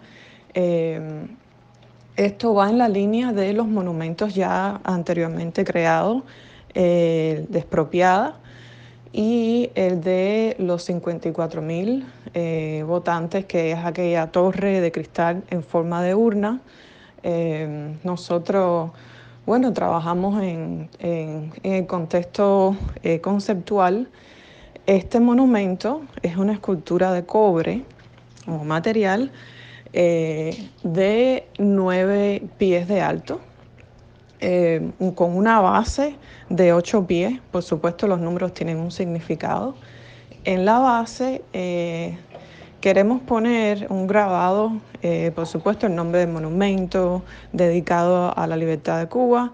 Pero no, nos interesa este grabado que, bueno, un, un mensaje que se vio en las redes sociales donde dice una dictadura que le teme a girasoles eh, no es fuerte, eh, cree en ti, más o menos parafraseando. Eh, y bueno, pensamos que el material va a ser cobre. va a estar como que queremos hacerle una especie de, bueno, el, el girasol va a estar pintado con el girasol que hice en el póster ori- original, que tiene los colores de la bandera y la estrella.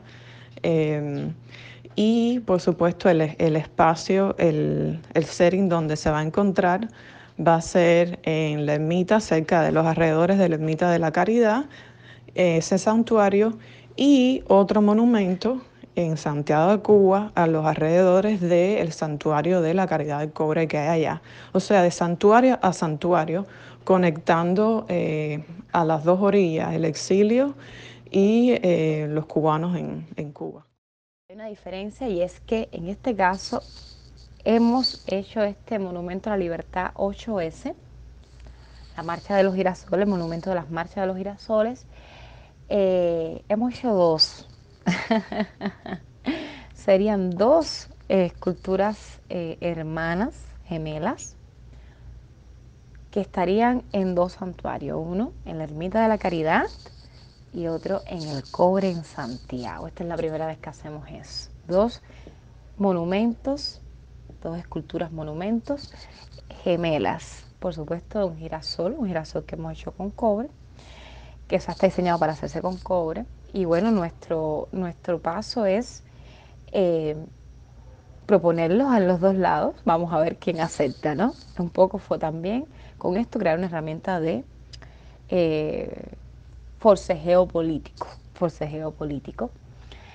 Eh, y de verdad estoy súper encantada. Que la frase es de, de Cata, de Cata Mojena, la activista de Cuba Decide, y bueno, de un Paco y promotora de Cuba Decide, que es que es la frase que escogimos para que, que adorne bueno, nuestro monumento, nuestra escultura, monumento.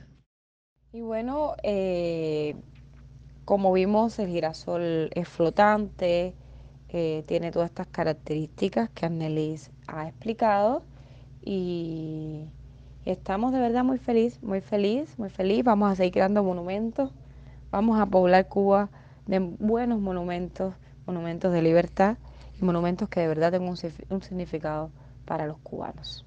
Un grupo de activistas dentro y fuera de Cuba que espontáneamente decidimos apoyar esta iniciativa eh, que se crea desde dentro de Cuba. Eh, la idea del girasol, por supuesto, eh, vino de mi compañera de trabajo, mi hermana Ana Olema, y yo me inspiré en eso y también en la valentía de, de, la disidencia dentro de Cuba, de ver a la gente de un Paco, Cuba decide, las damas de blanco, expresando su derecho a ser libre. Hay que tener mucha valentía, caballeros, para manifestarse dentro de aquello, aquella dictadura. Entonces, el, girasol, eh, por supuesto, simboliza los colores patrios, simboliza a nuestra gente, eh, nuestra bandera, nuestro país, eh, nuestra patria que está dentro de todos. También los colores cálidos en el background es ese llamado a la acción, es ese llamado a seguir adelante, al apoyo del exilio hacia la disidencia interna, hacia la libertad de Cuba. Eh, yo quería crear un, como una especie de logo, una especie de símbolo que cuando uno lo ve se sabe que no solo es un girasol cualquiera, es un símbolo que significa no solo ese día, el 8 de septiembre, sino eh, cada vez que eh, salen a protestar, salen a marchar, a ejercer su derecho de la libre expresión y a clamar por la libertad de Cuba. Bueno, como vimos, el girasol eh, está hecho de, cobre, cobre pintado, tiene esta, esta idea de, ser flotante a, la vista como una ilusión óptica, con esta idea de elevarnos, como decía Nelly, como nación. Y bueno, he explicado muy bien el concepto y, ya de, como ya dije, vamos a hacer... Eh, vamos a tener todo, todo bien organizado a nivel de plan de producción y eso va a ser muy pronto que vamos a, tratar de, de, proponerlo y hacerlo. hacerlo vamos a proponerlo a la ermita y vamos a proponérselo a, Castro como, una, como un forcejeo con el poder, ¿no? Que eso, eso, eso también es otra de las funciones de, del arte. Y bueno, voy a, vamos a seguir creando, yo con y, y también en lo personal, de muchos monumentos y muchas esculturas eh, para Cuba, para los cubanos. Ya estamos creando la Cuba del futuro, porque nosotros somos el futuro. Wow, maravilloso, maravilloso, me encantó, me encantó. Tú y Anelis, las felicito. Qué cosa tan linda, es verdad que también yo puse mi granito de arena en esa idea. Me parece fantástico, Ana. Pero bueno, realmente la idea eh, fue, surge porque tú haces esos monumentos y a mí me pareció que al hablar sobre eso y a tener esta idea tan fantástica eh, de colocar el girasol como centro de toda la protesta, pues eh, me pareció que lo lógico era que hicieras uno de tus monumentos, ¿no? Y, vaya, no me equivoqué porque te ha quedado bello eso a ti y a Annelis, las felicito a las dos y con el cobre como material, o sea, por favor, desde ya cuenta conmigo para la campaña, para que se ponga en la ermita de la caridad y por supuesto para ese desafío al Partido Comunista para colocarlo en eh, el Santuario del Cobre, en Santiago de Cuba. Pienso que tus monumentos van a, a poblar Cuba, digamos. O sea, tú estás preparando un presente alternativo, pero también asegurando un futuro eh, eh, que, recuerde la historia, ¿no? Estás como preparando la, la- lo, monumentalmente, nunca mejor dicho, eh, el futuro paisaje urbanístico o artístico de, de Cuba. Estoy segura que en una Cuba libre vamos a ver todos tus monumentos escultóricos, Ana. Así que te doy las gracias por ah, haberme dado esta entrevista. Por favor, si quieres eh, decir algo más, porque uno siempre, no sé si te, algo se me quedó sin preguntar, por favor. Bueno, Elio, para cerrar, quiero decir que no hay, no siento, yo no siento que hay una paradoja entre Ana la activista y Ana la artista. Que, que hay, cada mundo tiene su forma de comunicación, que hay momentos que hay que simplificar la información, que hay momentos en que, eh, bueno, hay que trabajar sobre la, la línea de la propaganda, y la propaganda por sí sola no es mala, sino, bueno, los fines que para los que se utiliza. Y, y eso hay que entenderlo y hay sabiduría en todo eso, en esos mundos. La cosa es, primero, hacer. Yo soy una mujer de acción, hacer, más que opinar, constancia sobre perfección, eh, método ensayo-error, todos esos son mis, mis statements. Y, nada, hay que, si es un precio que tengo que pagar, lo pago. Lo importante para mí es que esté bien hecho. Eh, y que, y que bueno, nada, estaré combatiendo, digamos, los sesgos que se pueden formar alrededor de, no sé, de las ideas que las personas se pueden hacer sobre mi persona, ¿no? También, bueno, decir que sí, que soy la artista cubana que trabaja con chapapote, pero trabaja con chapapote porque es como una materia eh, última, ¿no? O como una especie de, caldo primero, de, eh, ¿cómo se dice? Eh, es la base, ¿no? Del surgimiento es el átomo, ¿no? Con el cual podemos los cubanos identificarnos, el material último, ¿no? Yo lo pondría así. Y con todos esos elementos, no porque yo lo decida, sino porque es el proceso político-social que me lo brinda a mí como artista y yo trabajo a partir de esos elementos extraartísticos, ¿no? Y, y tengo un reto y, y lo acepto. Y lo acepto. Soy la artista que hace presentes alternativos, soy la artista que creó una constitución, soy la artista que se creó un país y una nación, soy la artista que demandó un Estado por expropiación de su cuerpo y soy la artista que quiere comprar Cuba. ¿Cómo? ¡Wow! Qué, qué bonito eso! Me encantó. Y además me dejas en, en un suspenso con eso del artista que quiere comprar Cuba. Es verdad que tú siempre sorprendes con, con algo y siempre vas 30 pasos delante de, los demás. Ana, muchísimas gracias por tu amistad, por tu valentía, por tu activismo eh, sin descanso, por toda tu obra artística al servicio de eh, la libertad de Cuba. Te mando muchos besos y eh, mil gracias otra vez por esta entrevista. Y a usted, amigo mío, comparta.